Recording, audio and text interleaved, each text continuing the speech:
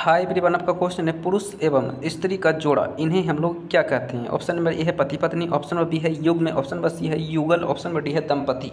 तो इनके लिए एक शब्द हो जाएगा दंपति। इन्हें हम लोग दंपति कहते हैं, ठीक है? So thank you